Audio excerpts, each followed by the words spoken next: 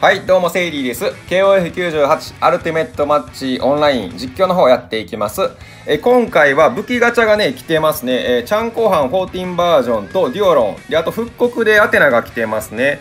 で、まあ、今回ですけど、このチャン後半の武器ガチャも僕ね、回してますので、午前中のうちに回して、えー、動画も上げてます。よかったらね、概要欄にリンク貼っておきますんで、その武器ガチャ動画も、えー、見てもらえたらありがたいです。で今回は、このチャンのね、武器効果について見ていこうと思ってます。で、僕の現状のね、後半ですけども、戦闘力が75万まで、えー、上げまして、防御力もね、だいぶ上げましたね。10万7500あるので、えー、結構、もう結構というかかなりね、役に立ってくれてます。で、えー、必殺技の効果ですけども、えー、武器があったらですね、えっと、追加ダメージが主にね、入るんですよ。で、その追加ダメージの割合っていうのが、なかなかね、でかくて、え追加効果として自身の防御力がターゲットより高い場合、え攻撃力を双方の防御力の差の、え300%分増加っていうのがあるんですけど、これがね、やっぱものすごい強くて、え基本的にこのチャンコーハの能力っていうのは、え防御力が相手より高かった場合に、えこういろいろと発動していくんですが、まあ、スキルによる溶血とか、あとこの防御力の追加ダメージとかもね、あるんですけど、この武器覚醒効果でそこをこう、かなりね、強化してくるっていう内容になってます。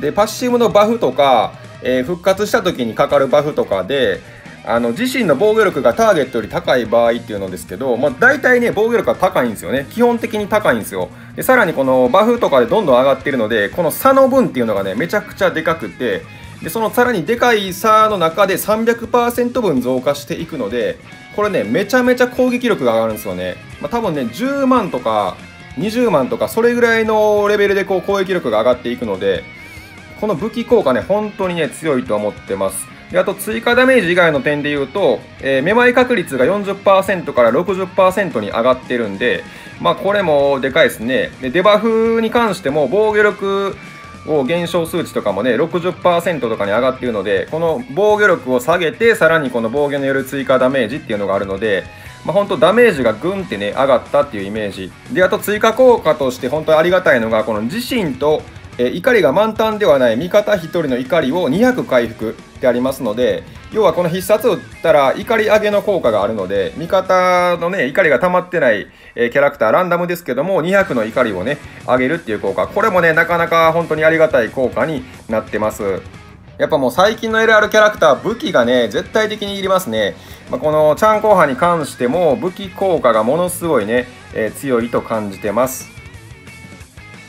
では早速この武器覚醒効果ね、バトルで見ていきましょうかね。えー、今回もアリーナ行きましょうか。で、僕今2位なんですけども、どうしようかな。えっ、ー、とね、デュオロン、啓門に関して、今日からね、えー、開放してるんですが、開放というか武器ガチャが来てるんで、今日からこう SMAX を開けてる人がね、いっぱいいるんですけども、デュオロン、啓門に関しては、また別で、あの特集みたいな動画をね、作ろうと思ってるんで、だからこの動画は、デュオロンを持ってない人、もしくはデュオロン、啓門を開けてない人に、え行こうかなと思ってます。でバツイチおじさんなんかは両論持ってないしね、えー、まあ面白いんじゃないかな。で、南大さん行きましょうかね、でも。南大さんはね、最近このチャンを入れてからですね、えー、アリーナ上位勢に食い込んできてるんで、まあ、この辺りで一回ね、戦っていきましょうか。まあ、南大さんといえば僕のチャンネルでもね、もうかなりの、回数出てる人で、え悪役のキャラをね、結構使ってるんですよね。で、後半もね、やっぱ悪役なんで、えー、ぜひ取りたいということで取得してますね。えー、まあ、こんな感じのメンバーで、デュオロンいるんですけども、啓蒙を開けてないので、で、あと、チャンに関しては武器もまだ取ってないから、まあ、逆に言えばね、僕が武器あって、南大さんが武器ないっていう意味では、えー、面白い戦いが見れるかもしれないですね。じゃあ、一発いきます。挑戦の方押しました。さあ、どうかな、南大さん。戦闘力が400万は超えてますね、南大さん。僕が今430万ぐらいなんですけども、えー、30万ぐらいの差かな？さあ、先制は僕が取ってます。ダル振って、さあゼロストライカーこのゼロストライカーはねやっぱ防御力を下げてくれるんで、まあ、本当にそういう意味でも後半と相性がいいですよねさノーブルバラン打ってスキルは後半出てますねこのでも一発目のスキルはさすがに溶血はあ入ってますね溶血入ってるでバイスも倒しましたバイスはでも復活するさあここ復活したバイスが打ってきますね。来たよいきなり S マックス。うおーアウェイキングブラッド。さあザキヤマ出てきてドリル打つ。さあ次打ってくるかな後半は。来ましたね鉄球大暴走。マックスにはなっていない。マックスになってなかったらね、ほんま火力がね、マジでゴミなんで、これは本当にね、武器はもう絶対に必要やなと思いましたね。さあ、ここは S マックスになっていないデュオロン。さあでもこの後 SMAX にしていくかもしれんですね本当に。恐ろしい。デュオロン、ケイモも全体になるからね。いや空手がこれ踏ん張り入ったかな今。さあラルフデジェットバルカンパンチはチャンに向かっていく。おこれ後半倒しそうか？後半倒すと攻守交代が発動してしまう。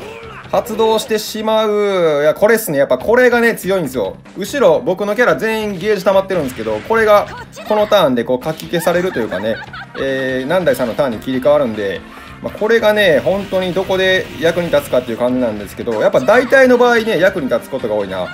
うん、かなり強く感じてますね、攻守交代。さあ、来たよ、鉄球大暴走。ラルフやばいかな、これ。さすがのラルフでももうやられそうになってます。サイスマックス、素肌クラブ飛んできて、ラルフは固定ダメージがあるか、やばいか。サイスマックス、マノカレー。いやー、アウェイキング来た、マチュア。これはやばいな。空手が結構、踏ん張り使ってたんで、これまた空手に来るんじゃない？うわー空手これ3回目かもしれん、踏ん張り。もしかしたら3回目。さあ、スキルの溶血を入れていくか。あー、やばいやばいやばい。空手やばいか？状態じゃない。うわー空手やられた。うわちょっと待って、ラルフもやられたよ。これやばくね？ラルフと空手が一気にやられた。さあ、ワイキングブラッド。さあ、ここで初めてね、僕の後半が、えー、必殺打てそうですね。この水地で状態上は解除できるので、さあ、マロカレ打ってから解除して、ノーブルブランさあ行きますマックス鉄球大暴走さあこの固定ダメージがやっぱでかいねうおやっぱ固定ダメージの追加ダメージがでかいですよね今バイス森って減らしてたんでさあアテナで回復入れてからスキルは、えー、バイスに飛んでいく。さあデスロー出て全体化の腹へ。サイコソードも出ている。いやでもこれ後半復活したよ。これ2回目の復活かな？そうですね。攻守逆転1回入ってるんで2回目の復活をしてからバイスはアウェイキングブラッドは後半に飛んでくる。うおー！これこれ。いきなりやられてもいきなりこう交代するっていうね。さあエトワール・フィランとさあノーブルバランの方ですね。さあ鉄球大暴走は武器は持ってますがこの追加ダメージはおおなかなかいいですね。230万はなかなかのダメージですね。防御型ですからね。さあアイキングブラッドで全体攻撃してマロカレでも全体攻撃。うおーどんどん削っていく。マロカレ2連チャン打ったな今。いややっぱ水地もねもう未だに恐ろしいですよね、本当に。水地はもう1年ぐらい前のキャラなんですけども、まあ、まだまだ現役バリバリですよね。さあ、風神吹雪打ってきて、えー、南大さんの後半は2回復活して終わりましたね。3回目は抽選は当たらなかったという感じ。さあ、僕の後半はまだ復活ができますよ。ここで2回目の復活入りますね。で、さらにこれ復活してから防御力上がるんで、つまり復活してから火力も上がるっていうことになるんで、えー、それがマジでね強く感じてますどんどん復活すればするほど防御力と攻撃力も上がっていくっていうね、えー、そんな効果になってますさあマックス鉄球大暴走うおー910万ダメージ出たさゼロストライカー防御下げてアウェイキングブラッド。水地倒せそうかな？水地倒しましたね。さあマロカレ打っていく。デュオロンもねダメージカットが強い。さあ最高メドレーはデュオロンに。さあこの後半のスキルがね本当に固定ダメージもあるしいい感じですね。デスロー。さあ払いも出ている。さあマチュアは1回復活入ってますね。なんでこのマチュアのビターンを後半が耐えれるかどうかかな。さあここで風神武器打ってくる。さあウェイキングブラッド来たよ。ビタンはどこだ？あ水地がターゲットは。一撃ワンパンスね。さあデスローは出ていない。さあこれ後半がでもマチュアに行ってほしいな。マチュアにどれぐらい減らすのか気になるところですが。あーそっち行った。そっち行ったらあんまりわからない。さあザキヤマ一撃で倒してアウェイキングブラッド。さあこれなんとか倒せそうか？さあマロから打っていく。いや水地もね本当に未だに強いって感じやな。エスマックス最高メドレーで最後は1000万超えそうですねこれは。1000万は超えていないがフィニッシュ。やっぱこの火力に関して全然なかったんですけど武器取ってから、え、固定ダメージがかなり強く感じてます。ではもう一発いきましょうかね。でさっき言ってたバツイチおじさんもう一回いこうかな。まあ、バツイチおじさん本当にねいつもいい勝負するんで、えー、行きましょうか。さあ挑戦をしました。さあバツイチおじさん今回はどういう感じでね K ダッシュで燃やしてくるんかなって感じですけどさ先制は僕が取ってるので、えー、ジェットバルカンパンチから開幕。さあこのジェットバルカンパンチの怒り上げで水内もマックスになる。ゼロストライカー。いいね防御下げましたね。この防御下げることによってやっぱ後半のスキルの溶血がね入りやすくなるのでまあ、それも結構いい感じですね。さあ昇乱脚スキル打ってこれは溶血入ってますね早速。溶血入ってさあこのクーラがね本当にクーラが恐ろしい。さあ最高メドレー打っていく。アテナにアテナじゃないマチュアに行きます。クーラ飛んできますよね。さあネストスタイル強で爆発を起こしてからガイアニックバースト。さあクーラがあクーラの前に。おおエトワイルフィラント。さあここはエリザベート出てきてからくるくるくる来たよ。これ凍結確定なんでね。マッチャーは次のターン動けない。さあここ SMAX 丸から打ってからゲイザー来るかな？あゲイザー来た。ゲイザーこれ空手に来るのは結構痛いな。さあハイパーチェーンドライブラルフ。やばい。ラルフに来たらワンパンをやめて。うおちょっと待って。85%ぐらい削っていった。いやラルフがやられるのはちょっとねしんどいんですよね。おおなんとかなんとか耐えた。ラルフはやっぱね初ターンは生かしたい。さあここゲニが出てくるがやばいな。凍結2体入ってるし結構やばいぞ。さあマックス鉄球大暴走。さあここダメージはどれぐらい取れるのか。ああ最初はやっぱね減らないですね。100万ぐらいしか減らない。ただこのスキルの溶結でその後減らしていけるので、えー、それもそれも込みでの必殺ですね。さあここでも状態上してるんでグレーシアああこれねグレーシアリッジがねこれチャン後半に飛んでくるんですよね。武器覚醒の効果なんですけどもえー、攻撃力がグンって上がることによっておちょっと待って喋ってたら 攻守交代がここで刺さったよ。この攻守交代の刺さり方はいいっすよね。さあこの必殺打った後に攻撃力がグンって上がるんでその効果でこのクーラがね後半に飛んでくるっていうね、えー、それがめちゃくちゃ活躍してるんですけどね。さあ鬼神撃打ってさあここはねこの起死回生の攻守交代めっちゃ強いんじゃない？さあ鉄球大暴走160万なかなかのダメージ。さすが復活した後はダメージが上がってました。さあマッチはも打って真んからも打っていく。お最高メダルは K ダッシュに。この後半はスキルが出ているんでこの溶血をどんどん入れていきたいところ。さあ K ダッシュ踏ん張り入ってます。小乱脚からスキルでどんどん溶血を入れていく。おおこれうまいこと刺さったね。攻守交代がやっぱ、えー、かなり決まった感じになりましたよね今のは。やっぱああいう感じでねあの相手のターンの最初の方に刺さるとめちゃくちゃ役に立ちますね。さあさらにこれはクーラが後半に飛んできて氷もしないさあこのネススタイル強化爆発を起こしていく。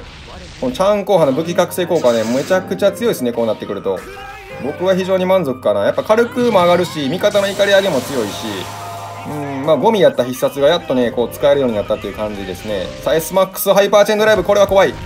これはクリティカルが出ている。わ一撃。マジか。復活後っすよ。復活後で硬くなってるのに一撃で倒しに来た。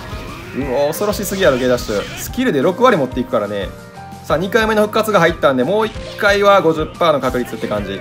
さあ鬼神撃はクーラーに向かっていく。さあ鉄球大暴走さらにこれはさらに火力が上がりますよ。防御力が上がりまくってるんでダメージもその分上がっていくっていう感じですね。さあノーブルブラン打った後にアウェイキングブラッドでビターンしていく。さあマチュア姉さんも怒っている。スキルは出てる。溶血。溶血は入りますね。エリザベートには入る。さあここ水地に行くがうわー K ダッシュ怖いなこれ。K ダッシュが後半に飛んできたらやばいな。さあグレーシアリッジまた来た。これはこう氷凍るかな？おおなんとか防いだよ。さあ来た。マロカレからのやめて。このハイパーチェンドライブ来た。これが怖い。いやー復活しろ。うわー3回はなかった。さすがに3回はなかったな。3回目いったらもう恐ろしくね強いからね。さすがにでも50%いけなかった。さあジェットバルカンバンチ。ただこれ K ダッシュに飛んでいくのでもう踏ん張りはできないかな K ダッシュは。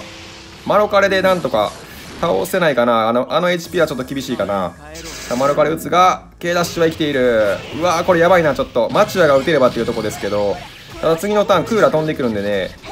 クーラーが、えー、マチュアに飛んできてここ氷が入らんかったらね大チャンスですけど。さあ凍結はどうかな。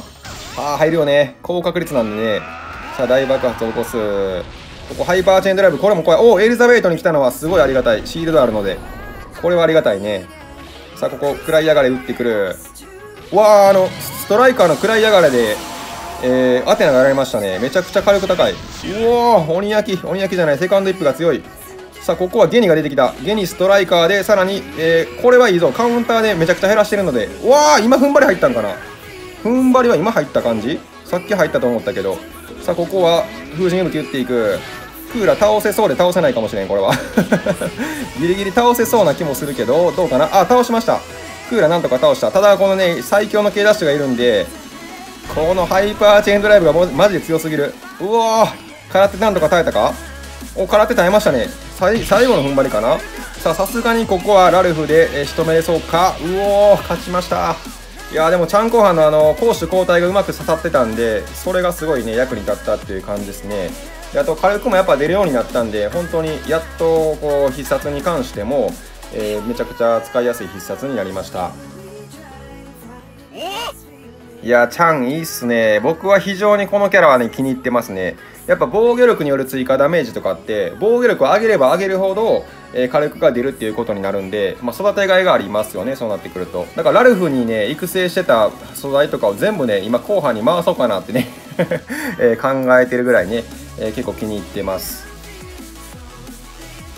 でさっきも言ってたようにねこの武器ガチャで、えー、デュオロンが今日来てますのでもう本当にね SMAX 啓蒙を開けてる人がめちゃくちゃいるんで、えー、デュオロンのこの SMAX の、えー、戦いっていうのもまた別で動画ね撮ります。まあ本当ねデュオロンはマジで恐ろしい。